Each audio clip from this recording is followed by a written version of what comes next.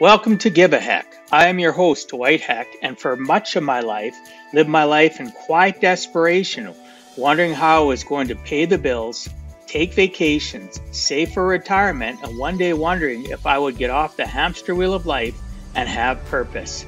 A life that most of society lives, which takes us to work, then home, then repeat, and pays us hopefully enough just to survive. The harsh truth that most live with more month than money and have no idea how to live life on purpose, not by accident. This ensures the mass majority are living not just financially broke, however, emotionally and mentally as well due to financial pressures. In each episode, I will introduce you to thoughts, ideas, and guests that can help you to learn how you too can live life on purpose, not by accident. Good day and welcome to Give a Heck. On today's show, I welcome Kelley Shields. Kelley Shields is a career and life coach for stressed, unhappy professionals who feel stuck in careers that make them miserable.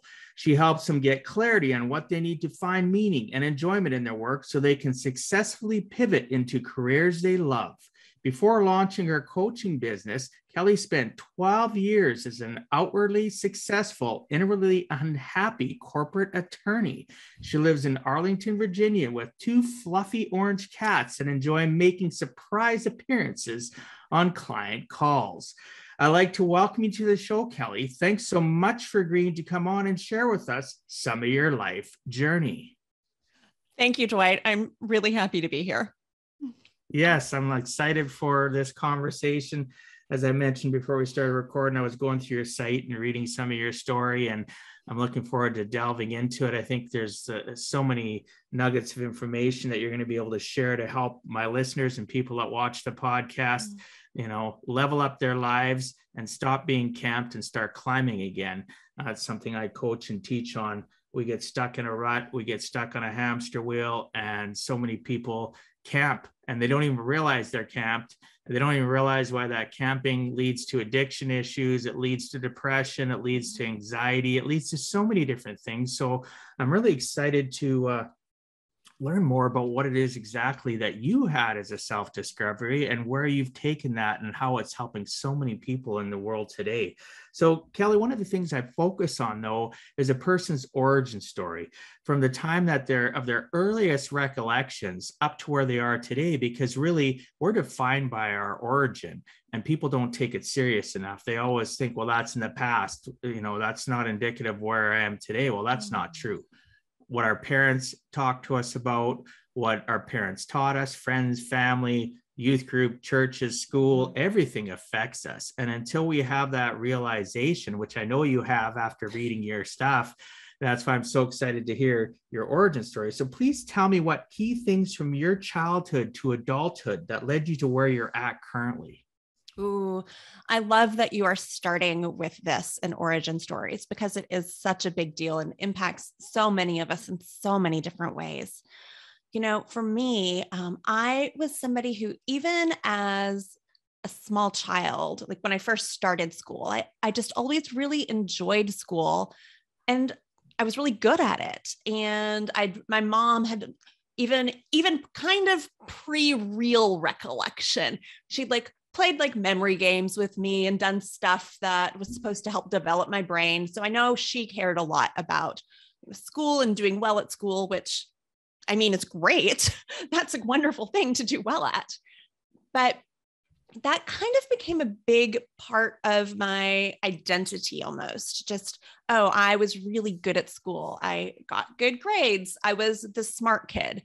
And as an adult, I would like to pause and say I kind of I I do think I'm smart, but I really do have a problem with using being good at school with a proxy for intelligence. Um, being good at school is being good at school. There are amazingly intelligent people doing amazing things in the world whose school just was not set up for them to thrive in. But I grew up in that. I that's how I grew up, like many other people. With oh, you're you're good at school. You're going to be quote unquote a success, meaning keep doing good at school, keep getting good grades. Then you're going to go to college and you're going to get a scholarship to college. You're going to excel at college. And then you're going to go into the some field where you're going to make a good living that's prestigious and you're going to then have a good life.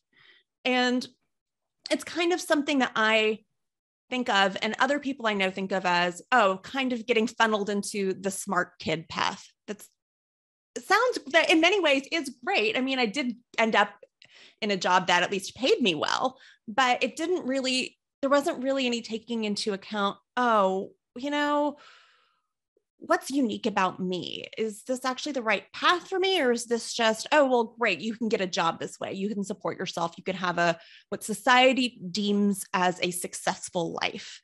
And I also have to say that I wasn't a big fan of the town where I grew up in. And I don't mean to knock it for anyone who has stayed there, but I was in a small city in Kentucky and I really wanted to leave. Um, I, I, remember even being in, you know, middle school, um, just not really loving my hometown and really wanting to leave, really wanting to try something new. So I embraced that narrative as well voluntarily in the sense that I just was like wanting to get out, wanting to move to a bigger city or move to some place that I found more interesting or had the impression of was more interesting. I don't know that as a middle school, high school, or college student, I had any actual information about any, what any of those other places would be like.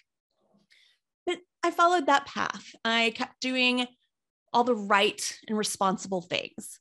And so I studied hard, I worked hard, I got good grades. I thought I thought about what I wanted to do. I knew I didn't want to be an engineer, although it did take me a while to figure that one out because everyone said it was a good job. And that would have been the world's worst fit for me. um, but I was like, oh, I, I like writing. I like talking. I, yeah, I'm smart. Um, I should go be a lawyer. And so I went to law school. Um, I guess I'm going a little bit beyond my earliest origin story here but it all just kind of flowed from oh great i have these talents this is this is what i do this is the path that society says great this is the ideal path you can actually get into it so this is what you should do. And unfortunately i figured out about two-thirds of the way through law school before i even graduated that this was going to be a terrible fit for me. And yet i was approaching six figures in student debt already at that point. so suddenly felt very trapped. Oh, imagine you would have. It's, uh, I find that it's so prevalent even with myself um, or my kids that have gone through school. My one daughter stayed in university longer than she should have and it acquired massive amounts of debt. One day she came upstairs and she said, Dad, I I can't do it anymore. I've I've changed my major. I've gone from this to this and thinking that maybe it would trigger something in me and it just doesn't. I'm going to quit. And my knee jerk thing inside my six inches was to say, What? What are you doing? You know how much money you've invested, the student loans? But I bit my lip. And I said, Well, honey, you need to do whatever your path is telling you to do. Like, whatever your journey in life is, I'm here to support you.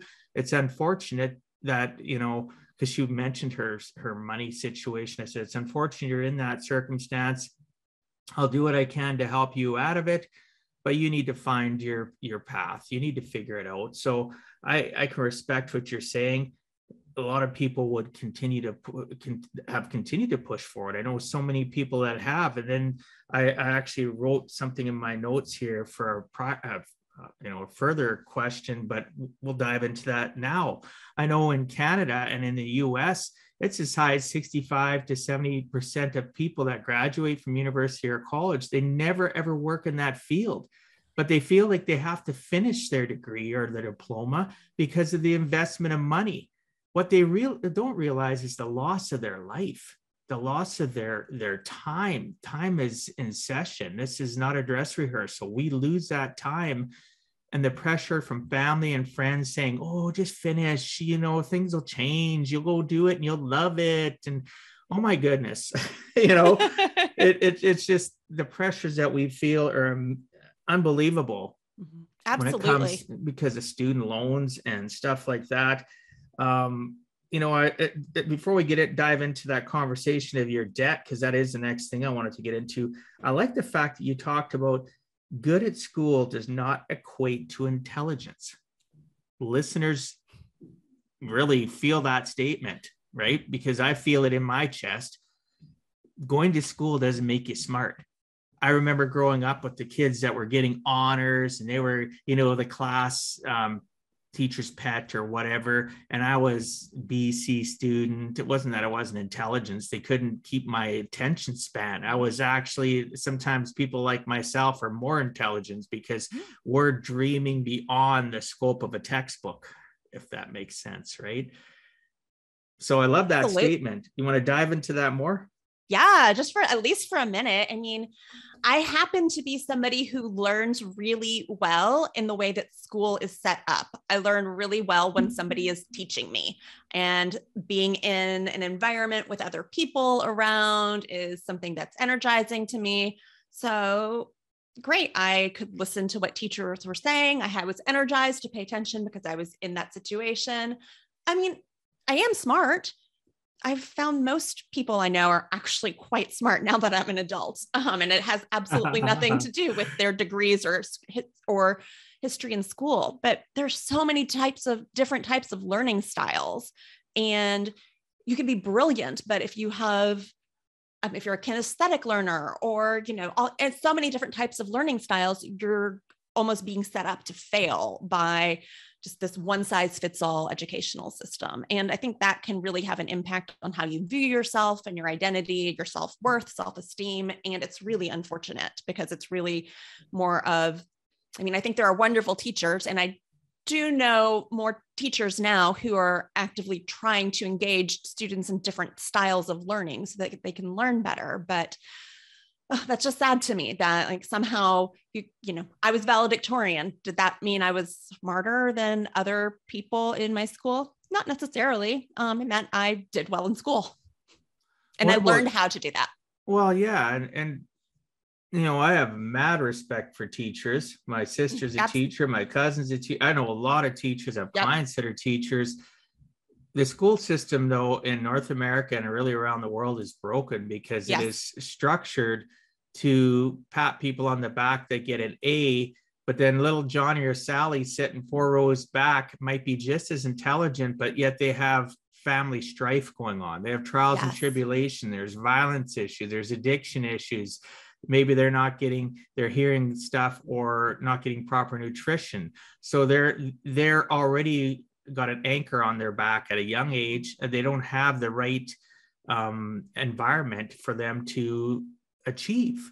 Absolutely. But then again, I know people that have done all that and then they, they get into young adulthood and they manage to break those chains, weren't good in school, that are some of the most intelligent people I mm-hmm. know and so successful. I have it on both sides. I have people that have gone through school, such as yourself, that are extremely successful too, but people label those that are valedictorians or honor students as the smartest and brightest people on the planet. And I have found through experience that not to be the case.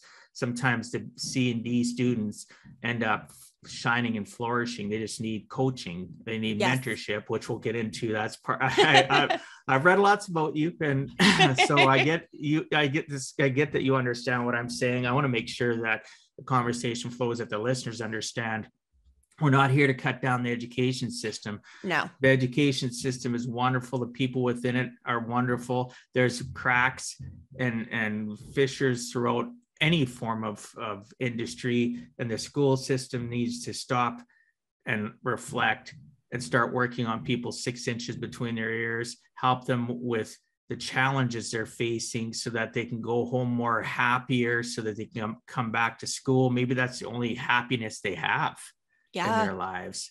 Yeah. Right?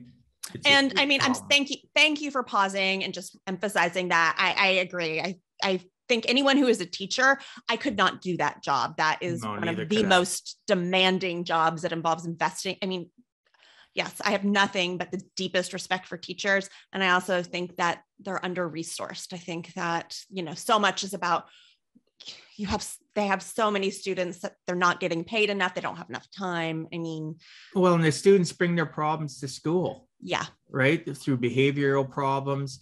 Then the parents bring it to school and, you know, little Johnny or Sally are having problems and they get, you know, the teachers have to take the blunt of not under, you know, why did you do this? And why did you do that? Well, little Johnny did this or little Sally did this well you have no clue because i've heard it experienced it all. If you you know it's just it's it's sad the pressures that a teacher has to go through. Yes.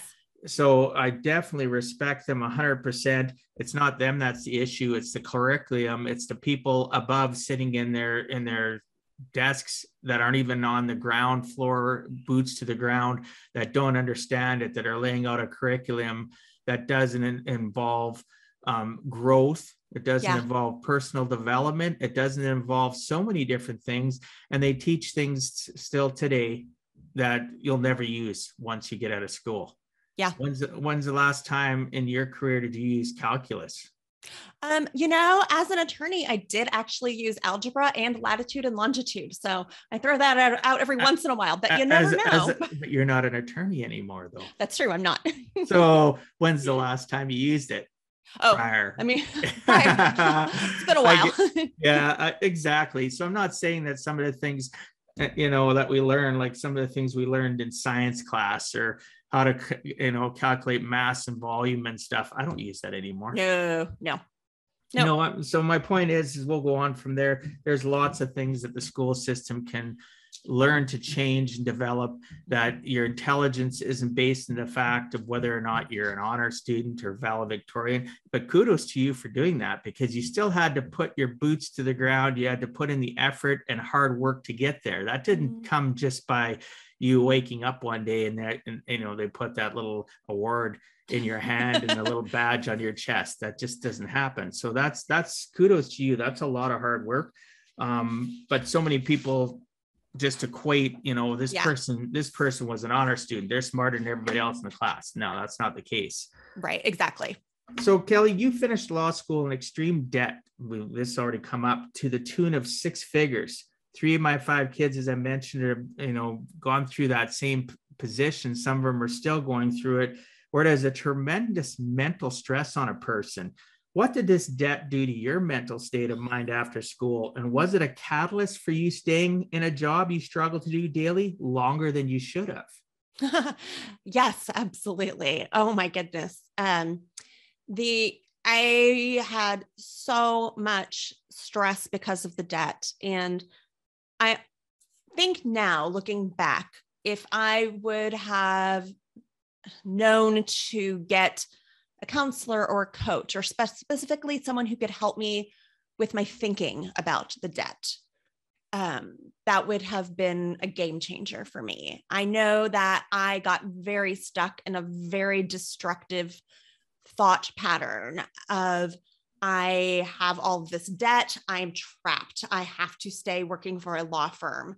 I hate working for a law firm, but I have all this debt. And it just went in a circle. And I don't think I needed to suffer nearly as much as I did. I think a lot of my suffering came because of the way I was thinking about things. And I didn't at that point in my life have the tools to take a different perspective um, or interrupt those thought those thought processes and take you know a healthier perspective that would have acknowledged that I still had debt and maybe chosen to work in a law firm, but been able to realize it was for a season and have much more feel much more empowered and that I had much more agency in my choices.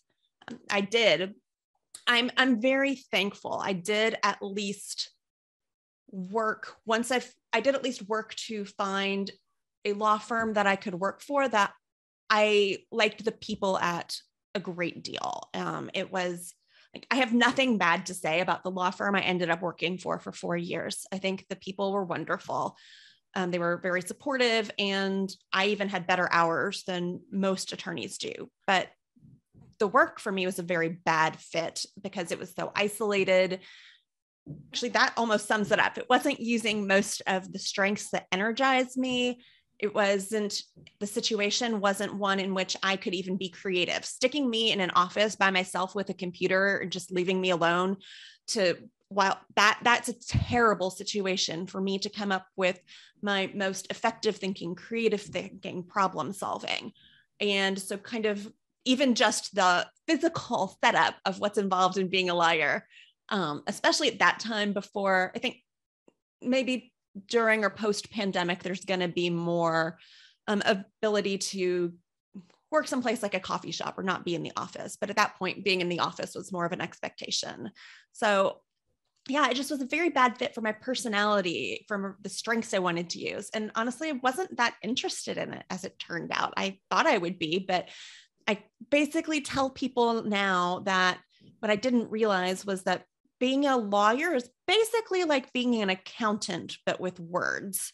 So it's very detailed. You're digging through a lot of dense information, doing a lot of research, trying to find some very particular nugget of information that has to be from a case that comes out the right way, that happened in the right location, and you have to fit those together. Um, it is better if you like words because there are things about structuring arguments. And I did like counseling clients on how to solve their problems. I did enjoy that part. But I was really unhappy. I very quickly I mean, I think because of the thought process I was discussing earlier, I very quickly developed um, depression and did not know how to get out of that. And that continued for like three years um, through two very difficult jobs. And I just didn't know. It definitely kept me feeling stuck that I had no choice but to work at a law firm and pay off my loans and what I also didn't expect after that was um, that I would feel, oh, wait, now I'm only qualified to be a lawyer. So now I have to continue as a lawyer. So you labeled um, yourself. Yes, 100%. And I've talked to other people who are lawyers, but I think this happens in a lot of um, cases where, but I only have experience as a insert your profession. And they feel like that means that's all that they can do. And it's not true, but many of us fall into that thinking trap. Well, yeah, and it's true though, but it's back to what you mentioned about, uh, you know, I read it on your site too, and mentorship and coaching, right from high school. It's important, but even when we're in our career, so you know, you were stuck in that rut of labeled as a lawyer, thinking that you couldn't do anything else. Yet, if you had had mentorship and coaching to make you think differently, to like my friend Michelle that I mentioned, that she she literally takes people through a why process. Well, why do you why are you a lawyer? why did you mm-hmm. want to do it? Mm-hmm. And literally drill down to the point where people will get that light bulb aha moment. And really, if you had been questioned and asked, sooner by somebody. I know for myself, I had a mentor coach reach out to me in 2002. I was a computer consultant at a consultant firm. I had a retail computer company and I was fairly successful, yet I wasn't satisfied. I was having health issues. And they said to me, you know what? We think you'd be better in the finance industry. Mm. Well, are computers and finance anywhere close to one another? No, it's like the polar opposites. It's like the North and South Pole. And I was like, Are you crazy? What are you talking about? Well, they brought well, they put it very simplistic to me. You're great with people, you're you're good at building relationships, you're good at you're very you can articulate yourself very well, you're very good at teaching people and relating to them and all the strengths I had that really they said you can take any those strengths and put them in any career. But we think you'd be great in this career. Why don't you come check it out and we'll give you some guidance? Um, you know, long story short, I ended up leaving that industry completely. And I've been gone from that industry for this is my 20, going into my 20th year because I had a mentor or coach. Yeah. So, can you talk about how mentorship and coaching has made a huge impact on your life? Absolutely. I'm yes, exactly as big a fan as you are of mentoring and coaching. And I will throw in counseling as well. Um, they are different, but I think all of them have a role and are can be very important. Well, as a side note on counseling, I think everybody in society should be have access to free counseling minimum once a month. The rest of their freaking life, a lot of our world strife and problems, our family strife and problems, our local communities, all our relationship issues could be fixed if we had some counseling. I, love that. 100%. I love that plan. 100% love that plan. I have said for ages that I think everyone needs to go to counseling just because I think everyone needs to. I, I would, yes, I'm 100% on board with your, you know, once a month free counseling for everybody. That's yeah. great. Let's, let's find a way to make that happen in the world. exactly. well, we'll start a petition now. um, I, I'm so on board. Um, but I think that those things helped me realize what was possible for me and that I wasn't trapped. And they helped me start recognizing the ways that my own thinking was limiting me and start thinking in some more expansive ways. Um, and then ultimately make a huge life change in, you know, leaving being a corporate attorney behind after 12 years and realizing, you know, what would actually be a great fit for me is myself being, you know, a counselor or a coach, but I didn't want to go back to school for years and years and years before I could start working and helping people. Um, so I went the coaching route. I would not have been able to do that, period, without having wonderful coaching um, from somebody who really knew what they were talking about and who could really support me. I'm, I had tried, I had thought about this for a long I'd thought about it for since I'd been unhappy. But even though I took assessments and read books and you know had had conversations, I didn't know how to make that happen. And I also didn't know how to really get clear on what would actually be a good fit career for me. Um, on my own, I actually had thought that being a realtor would be a good fit for me. And I don't think that would be a terrible fit for me now, but I got my license and tried working with someone I know who has a very small real estate brokerage and quickly found that I was going to have to switch and go work full time for like a big real estate company if I wanted to do that. I was not motivated to do it at all. And I couldn't understand, well, why am I not motivated to do this? My best friend from college had literally said, Oh, I think that's the perfect job for you. And I thought it made so much sense. But what I didn't realize at that point, and this touches on something we mentioned a little bit before we started recording too, but that came down to my why, um, my personal values and motivators. And I worked with a coach who helped me realize that, oh, there's a structured way you can start thinking about what you actually want to be doing with your career to meet your needs.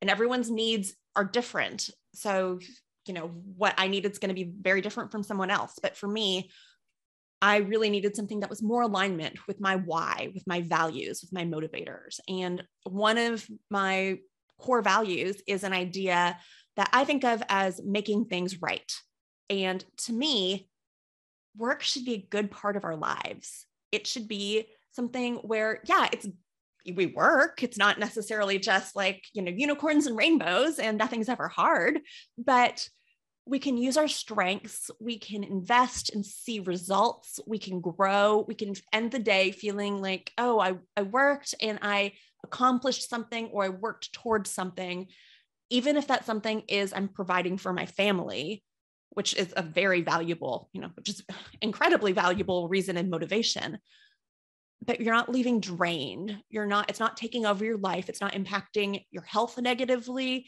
It's not leaving you miserable. It's not driving you to alcohol or drugs or addictive behaviors. It's not making you choose between keeping your job and showing up for your kids or your spouse or your friends or just even your own life. It should be something that is a part of our lives that is good. And I think it's wrong when that's not happening. And so the work I do now is something that in part came out of that that why that core value that processing yeah. Yeah. yeah it's it's so important to realize people listening that coaches mentors counselors are people that are seeing the forest for the trees. They're they're literally not gonna they're gonna be what i tell my tell a lot of people. I'll say do you want me to tell you what a friend would tell you or do you want me to tell you the truth and they get shocked by that. Well, what do you mean? Because a lot of times friends and family will tell us what they think we want to hear, not what we need to hear. And that and the harsh reality of it is a mentor or a coach or a counselor is there to listen and help you work through and find the solution from yourself. They're not necessarily giving you the, the Mm-hmm. solution. They're they're hopefully drawing it out of you because that's what I find is the best coach is somebody that's challenging you. Yes, they can have advice. You know, here's some options for you, Kelley. Here's what we think might, you know, here's what I think might work for you. And then Kelley gets to percolate and think Yeah. about that and have it, you know, think about it for minutes, hours, days, Mhm. and then come back, have another conversation. You know, like you know how coaching works. It can be once every couple of weeks, it can be once a week, it can be daily for some people when they're really struggling. But I appreciate you sharing about that, that it did it did make a huge difference and impact in your life and led you to where you're doing it yourself, which is phenomenal. I, I you know, you mentioned real estate and somebody saying, you know, again, friend told you what you wanted to hear, you know, Yeah. Yeah. they might not even really believe that. And it's because people don't want to offend their friends and family. Mm. So let's say, you know, try this out. And sometimes it's because they know somebody else that was successful in that career. And it's always about finance. It's always about money. Mm-hmm. Oh, Kelley's got student loans. Kelley's not really happy. Kelley needs to make good money. Oh, that's, you know, she'd be a great fit for being a realtor. Yet they really don't know Kelley. They know the, they know the superficial facade of Kelley, but they don't know what's going on between your six inches. And I still think that's why coaching and mentorship is so important. A good Yeah. coach or mentor is going to drill down to that and peel back the layers. Yeah, I think that's you are nailing it. That's exactly nobody else can tell you just looking at you, oh, here's here's the answer for your for you. Um, I'm thinking of this in the world of work and that's what we're talking about, but nobody else can look at you and just say, hey, here's absolutely what you should be doing. Um, they can make suggestions and give you the reasons why they think it might be a good fit. But that's the difference between talking to a friend or just talking to somebody else who used to work I see so many posts on Facebook or in different communities where someone wants to find out what other people who are in their career field, say healthcare or teaching or anything, HR, anything, like, oh, was anyone else used to be in there? And what did you change into? Or they're asking, oh, what careers do other people here enjoy? I'm just trying to figure that out.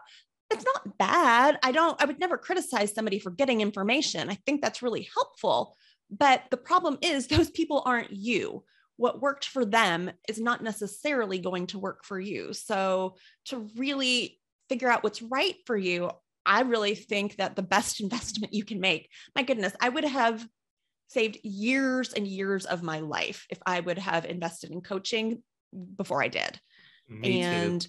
I mean, it's sometimes people look at it and say, oh, this is kind of expensive, but it's so much less expensive than a grad degree or getting a license or switching a job into a job that you think you're going to like and then realizing, oh, this is a terrible fit for me. It's, yeah, like, Well, like- you, you get to a point where you know all of a sudden one day you you think to yourself, I wish I had me as as a young adult.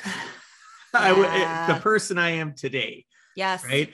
And it's not it's not an ego thing. It's just that my gosh, I've learned so much along the journey of my life and and the hills and valleys and living in the valley of despair and then you know having the highs and lows that if I could talk to my younger self i've had uh, being a guest on podcasts i've been asked that question what would you tell your younger self? I tell my younger self that not to go get a coach or mentor necessarily not that that's bad. I tell my younger self to listen to this listen to my heart listen Mm. to me. Quit listening to all the noise. Quit listening to all the wah wah wah that's going on in the world. And our you know you you touched on that too though like our families again love my family Mhm. but so many of us get labeled well you'd be really good at that you know you'd be really good at you know do what your dad's doing do what your mom's doing do what your uncle look at your uncle bob he got into this and he was so successful why don't you do that and and, and none of these people are doing it to hurt us Mm-mm. but sometimes we just got to ask the right people and it's back to the mentorship and coaching even school counselors right sometimes i'm not saying they're all good but not all coaches and mentors are good either but you know so i have some young listeners i have 18 19 year old listeners Um, I'll have to tell you that story someday. It's the listeners have heard it already um, prior in discussions and stuff. But I have young listeners that need to hear this sort of stuff. Start with your school counselor. If you're hearing things from your family that make you have a pit in your stomach, you feel your chest getting tight, which is a, a trigger for, uh, it can be a trigger for anxiety or depression, go talk to somebody different right? Yeah. You can nod your head at your mom and your dad, or your even if you're an adult and your mom and dad are telling you stuff, or friends or family, it's okay to just politely listen and walk away and agree to disagree. Right. You can you don't have to be vocal that you disagree with them. Sometimes it's kindness is still the champ. And you can still do what you want to do. You can still go find somebody and get help. And that person doesn't have to know. When they know, when they find out is when you've figured out your path and you've decided what you're going to do and you become successful at it because you're tenacious and you just do whatever it takes right so um i just want to pause on that and hope and just emphasize for any listeners that you have who are in college age thinking about these things this is fantastic advice so please pause and check in with yourself and pay attention to how you're please just please follow dwight's advice here because you will be setting yourself up for a life that you actually really want to be living if you follow his advice. And your parents love you, all your friends love you, but they can't know what's going to be best and right for you on your path. Yeah, exactly. And if you're an older, you know, you're not early young adult and you're you're in your 30s or late 20s and your 40s or whatever it's never too late to give a heck about yourself it's never too late to say you know what damn i've been spending the last 5 10 15 years of my life stuck in a rut i'm making good money but i'm not emotionally and uh, satisfied and mentally satisfied because all the money in the world means nothing Mm-mm. if you're not happy and money nope. doesn't you know money can assist in memories but it can assist in buying you happiness right. and, and a memory can be a temporary happiness and then if you go back into that career or business or job that you're you're just going to work go home get paid stuck on that hamster wheel that's not fun it's and you know another thing i want to tell people that are listening it's okay to not know exactly what you want to do once you come out of school right even if it's high school, if it's college, university, it's okay. Oh, you're you're in a job for 10 years and you're not sure where you want to go. You've been offered a career path change or a promotion and you're not sure. It's okay to say to mm-hmm. people too, you know what? I need to take a pause. I need to figure out some things and then self-internalize. But the biggest thing a coach and mentor can do is help you by questioning you so that you think differently and they're not you don't have to be stuck in a rut there's always hope for everybody look for at, everybody look at, look at, you and i i've yeah. pivoted you pivoted mm-hmm. i've pivoted more than once and it's and so have you you yeah. went from one law firm to a corporate gig mm-hmm. to leaving and being in coaching yeah you're constantly oh. elevating and climbing once in a while you've camped but yep. you realized that the investment in yourself is talking to others right? Which oh. is amazing. I love what I love that you're what you're putting out there for your listeners. Um, I have clients who are in their 50s and it is not too late. Um, I mean, my goodness, um, I wish I remembered the ages off the top of my head, but Julia Child, I think, didn't even start cooking school until 37 or 39. So, I mean, it's just not too late. And the idea of there's an idea about, oh, well, it's too late. And I just want people to hear that I've heard that from people who are in their 26, 27 years old, um, as well as people who are 55. It's really, there's no objective reality. It's about a perception of where we're supposed to be. And a coach can also really help you with that. Even if you have oh. 10 years left until you retire, assuming you even want a traditional retirement, um, that's a large percentage of your adult life. And there's no need to use your words, stay camped someplace that you're miserable. You can still pivot from where you are into something that, you know, meets your needs where you are at that point, which might be different than if you're 25 but that helps you start climbing again and help you start giving a heck about your life and feeling good again and well you live longer too when you're yeah. when you're satisfied and satiated. Everybody talks about satiation being like nutrition. Well, your mind needs nutrition, right? Yeah. Your emotional state of being needs nutrition. So you can be 60, 70 years old. It doesn't matter. I have listeners that are in all age categories from teens all the way up into their 80s. And, you know, sometimes in life, we just don't be camped. Now, if that's where you're enjoying life and you're in that re- traditional retirement, as as you mentioned, Kelley, myself, I'm going to keep on climbing till the day I take my last breath because, and it and people say, what is what does that mean for you? You're never going to retire. And I told somebody that just in the last few weeks. I said, yeah, I'm never going to retire. Well, I want to retire. I want to do this and do that. I said, you know what? Just based on my experience in talking to people and coaching them and talking to retired people in my finance and coaching business, they literally are bored after eight mm. months, a year. Some people make it two, three years because you can only sit on a beach, you can only travel so much. If you're not doing something in between, in my opinion, that satisfies you in a different realm, and then you have that goal of going on that month vacation or doing whatever or you know something outside of work it, it, you're on a hamster wheel in retirement too. It may sound harsh but you can be on that hamster wheel. And then people wonder why they have health issues yeah. longevity issues because their their brain gets camped. Our brain is something that needs to be fed every single day some sort of new information because if it's not we get camped. And you know i i i wish i would have had again like we talked about you and i both wish we would have had this information back in high school going into college. But again we have it now. We continue to pivot and elevate. You're helping people which is fantastic because your story is amazing. And i'm doing the same. Mm-hmm. and there's no shortage of people that need help right? Absolutely. They and by the way by the mm. way if you're saying like oh well I want to do X when I retire, that's great. I would just question, you know, there's a lot of opportunities now. Like, is this something that absolutely, like, what can you bring into your life now? Like, don't defer, like, don't put off all of your happiness. Oh, I have to put my head down and just work, be at the grindstone for the next 20, 30 years. Next 20, 30 years. years. Yeah, that's just. Like, there's all sorts of things that you can do now and ways you can change your life now that maybe aren't, you know, oh, I'm never going to work again. But I'm a, for some people, I'm a huge fan of sabbaticals or work breaks to either travel or learn something or rest. I certainly took one because I needed to recover my health.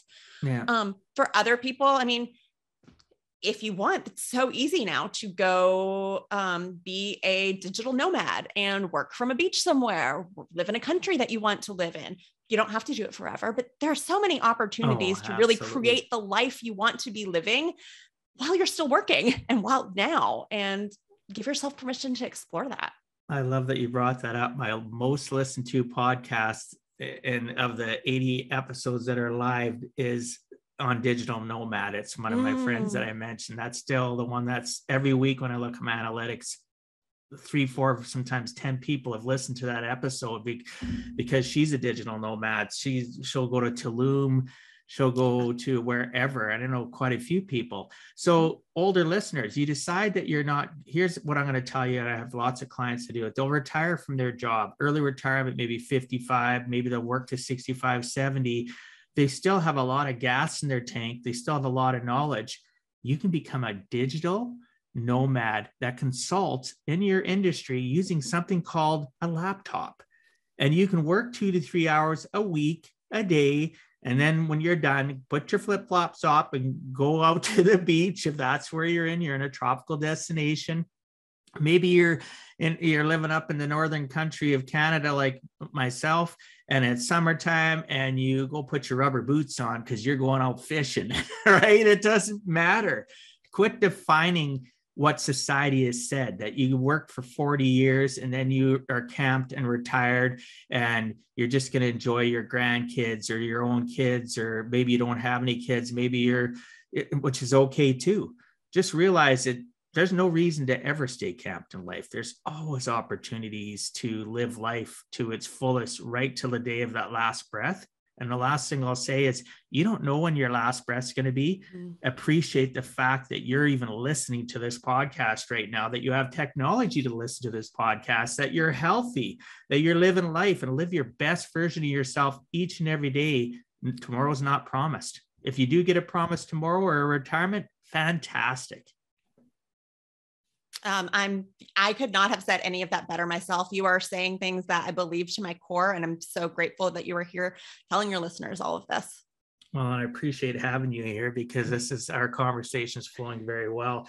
So, Kelley, what are the steps, the building blocks to evaluating what one needs for fulfillment and enjoyment in their work? Mm, yeah, thank you for asking that. Um, what I really found was when I tried to take little pieces of it by myself, it was never enough.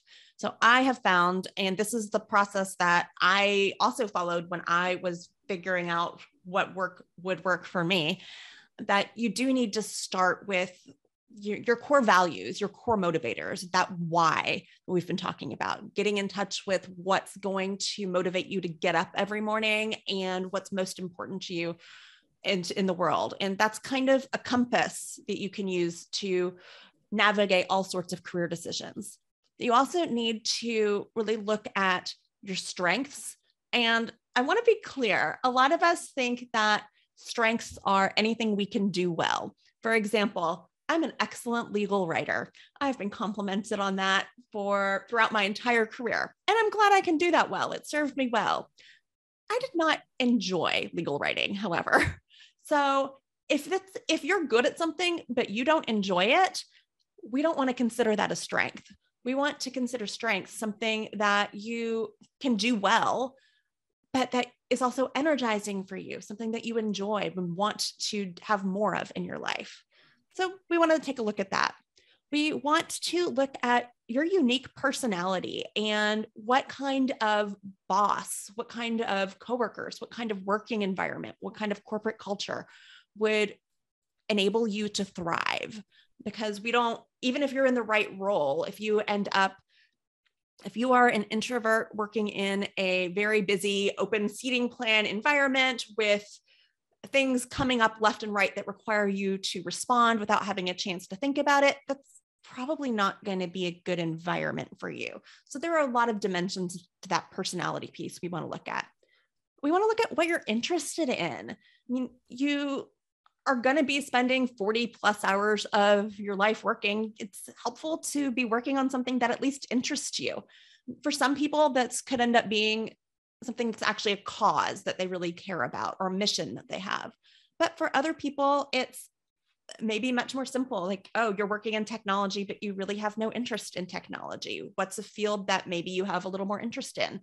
I found when I looked at that for me, um, I was very cynical and thought I would have nothing from my interest that informed any direction I would want to go.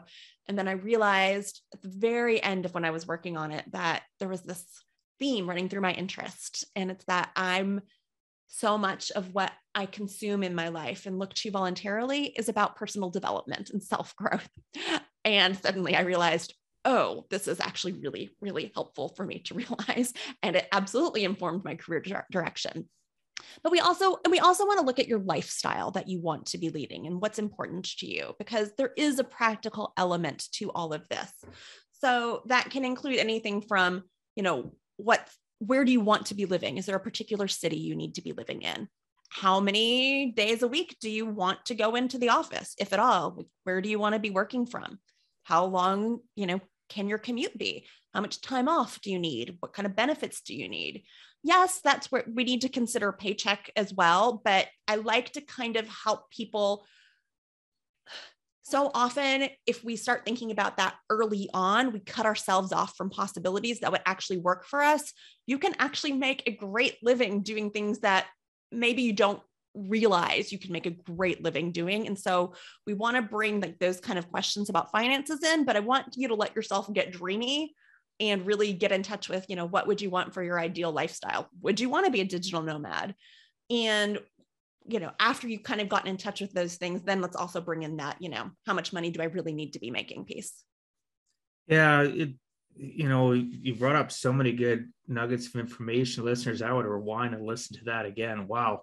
Core values, strengths, unique personality. What are you interested in? Your lifestyle. And I wrote sub things down for all of those, but you know, just rewind and listen to that again. Those are all key things. One of the things I really enjoyed about that was or two things actually not that uh, it's all got value but really struck me was the core values so many people don't really understand what is their core value what are mm-hmm. your core values some people say you have to have eight some people say they have to, you have to have five there's no number on it mm-hmm. what do you what are your core values for me my core values i had to realize have been the same since i was very young they've been mm. faith family and work three simple core ah. values for me faith is my first core value. My second is my family. And third, it is work. Because if the other two ain't clicking, guess what? Work, I feel unsatisfied. Why am I working?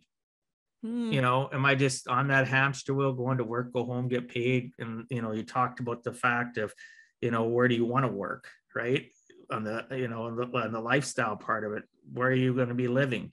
you're gonna have how many days in the office or do you want to be in an office yep. all that sort of things is, is fine for the work piece but if i don't have my faith and family solid it's i find i'm i'm spiraling out of control living in a rabbit hole and I may not seem it, but I've been, you mentioned being introvert. I'm extremely an introvert. Mm. I've had to mm. fight to be extroverted when I need to be. Otherwise, yeah. I prefer to be in a small, close circle of people because for me to be in large environments after three, four hours in a room of 100 people, 1,000 people, 10,000 people, I feel like I am just a shriveled up orange. Yeah. it's lost all its moisture and it's got no substance left to it. So I really like the, the fact that you brought that up that most people don't think about many of the things you mentioned, but the core value thing and in the lifestyle you know and people listening lifestyle too. What are you eating? What are you putting yeah. into your body right? Are you exercising?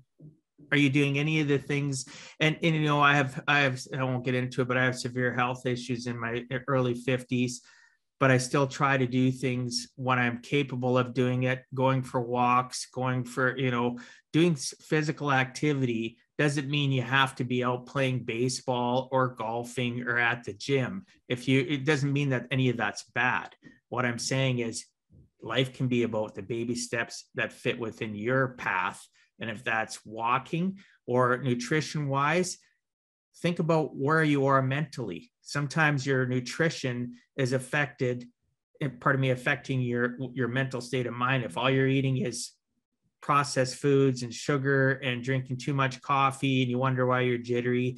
So part of that lifestyle thing of where you're going to work and what you're going to do, tie into that your nutrition and exercise and also associations to who you're hanging out with. Maybe you need to change that a little bit. and those that right, yeah. those that listen to my that, that are uh, consistent listeners know I talk about associations and, and people I coach know that I do. I I think that is one of the biggest things we don't take serious enough is who we hang out with and, and, and associations to food culture of what we were raised with.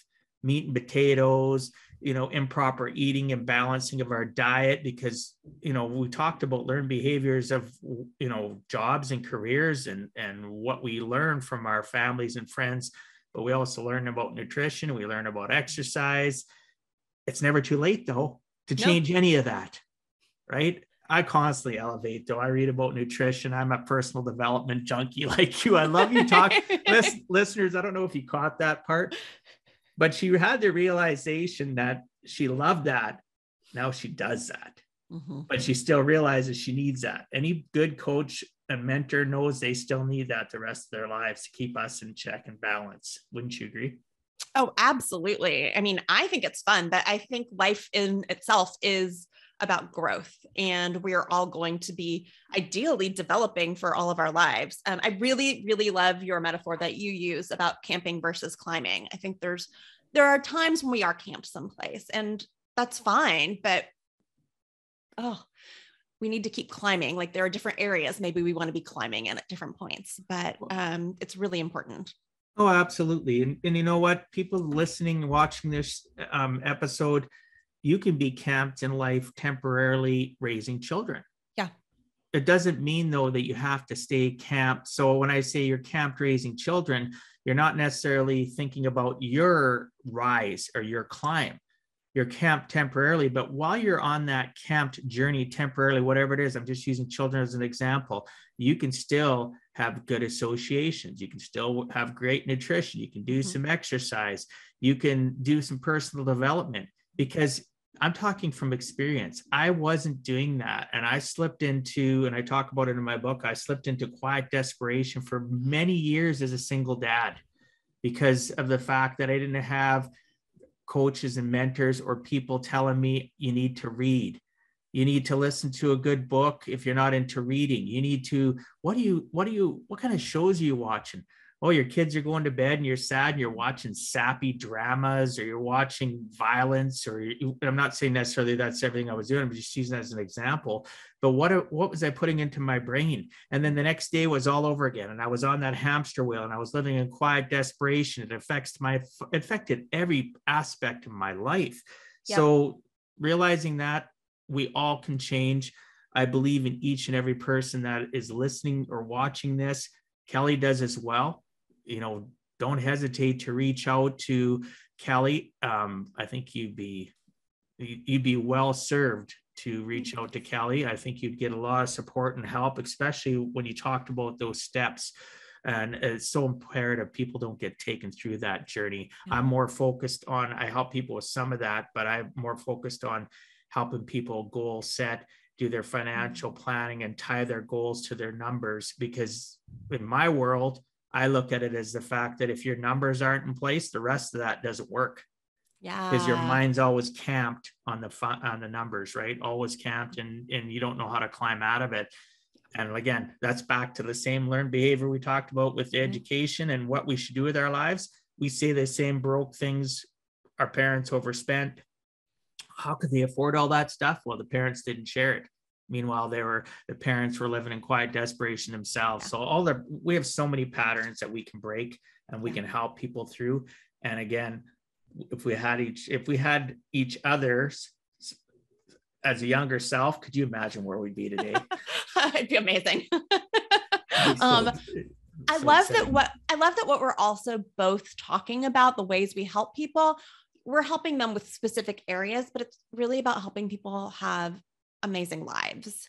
And there are these big pieces that I help people in their work lives because I think that work is such an important piece of our lives and it spills over into the rest of your life, into your relationships, into your health, into you know your free time, just how work is going. And I think it's just so important for you know your overall happiness and flourishing as a human being for the work piece to get figured out and like what you're talking about with finances and numbers and you know if that's off and your brain is getting stuck on that it causes so much anxiety and stress and that's spilling over into so many different areas about your of your life and oh there's just so much of this work that's just about helping you show up and live I mean, this sounds this sounds cliche and I don't mean it that way, but live your best life. But really, I think maybe live a flourishing life, be a flourishing human being who's happy and healthy and showing up in the world in the way you want to be showing up.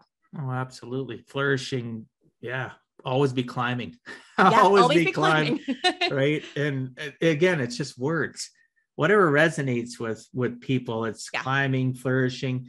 One of the things that the word I've, we've used a lot is relationships mm-hmm. that's the one thing that we as people that want to help and serve others are always looking for ourselves we're looking for solid concrete good relationships and we are also trying to do and working successfully in many cases developing those relationships because vulnerability is so key in helping people mm-hmm. not stay camped to flourish to be able to climb and people nowadays are so um, against being vulnerable because they're always thinking that it's going to get used against them. Listeners, we ourselves, as a good coach, mentor, um, person that wants to help others, we're never going to use your vulnerability against you. We're going to use it to help you discover that you are worthy, that you, you know, all the noise you've had in your life, all the people that have tried labeling you and putting you into a compartment that you have to that you think you have to stay in it you don't mm-hmm. there's people out there that are willing to listen that are willing to help you discover kelley's doing it one way i'm doing it another we actually really when i the more we converse and you probably realize it yourself listeners we are a great fit we're the yin and yang of how we can help out I can help out on one end, Kelley can help out the other. My point for this is I know people, myself included, I have more than one coach. I have a coach that helps me out on my on development of my speaking and my book. I have a coach that helps me out as an entrepreneur to think differently about the different paths of where I'm looking at expanding my brand of Give a Heck. I have the list goes on. So you can Absolutely. have more than one coach too if you're lucky enough to find a coach that can encompass all of that, good, good for you. I haven't found it yet. I, I find that everybody has different strengths, right? So, Kelley, if you had to give our listeners one last closing message, what would you tell them in regards to giving a heck and never giving up? Mm, that's such a great question. I, I would tell them to, you know, I think I might actually pause and echo the advice you would give to your younger self and really take a moment to, you know, so many people are so busy. They're on that hamster wheel, especially when it comes to work and you're just meeting the deadlines and doing all the things and rushing to get home to your kids and just busy, busy, just trying to keep up. It would be hey, pause and check in with yourself and ask yourself you know, how am I actually feeling about my life? How am I feeling about my work? How do I feel in the middle of the workday? How do I feel at the end of the workday? Is this really what I want for my life? And really just pay attention to how your body reacts, but create some deliberate space to let yourself feel the things you're feeling. Maybe you are really happy and giving yourself more space to feel that and recognize that and appreciate it is wonderful. Maybe some anger is going to come up, and that's really important to pause and notice. Maybe some sadness or discontent, maybe that tightness in your chest or in your gut, but just really creating a little bit of space to ask yourself some questions about huh is how is this going? Is this really what i want? How am i feeling about it is I think the most important thing. And if, you know, you're having a negative reaction, if you're noticing that anger, that sadness, depression, even let yourself feel it because those feelings are just signals that something needs to change. And letting yourself tune into your body signals gives yourself the opportunity to get what it is that you really want and make that happen. That's an amazing closing message. And to add to that, if any way along that process? Anybody's ever making you feel bad for you how you feel if you're sharing it with others? Back to the fact of what i mentioned earlier maybe you need to check your associations right?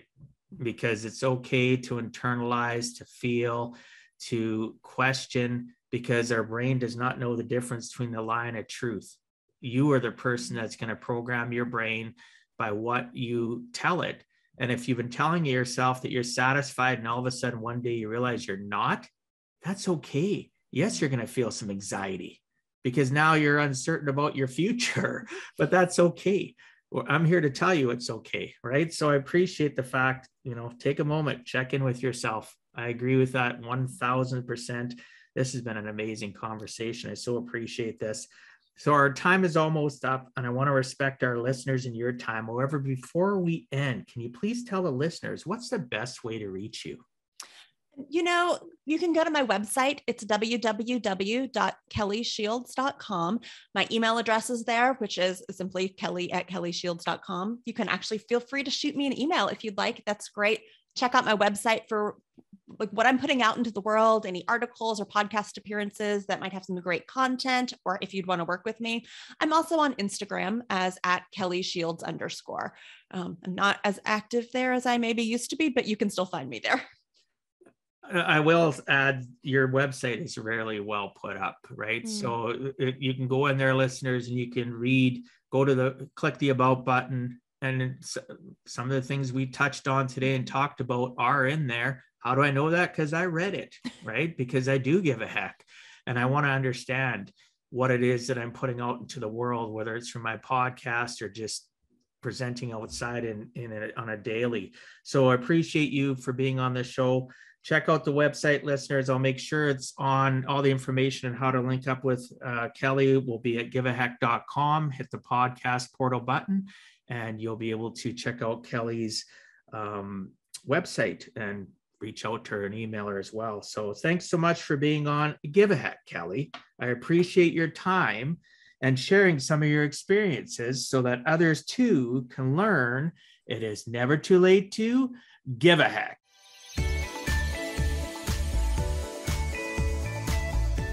Thank you for taking time out of your day and listening to Give a Heck.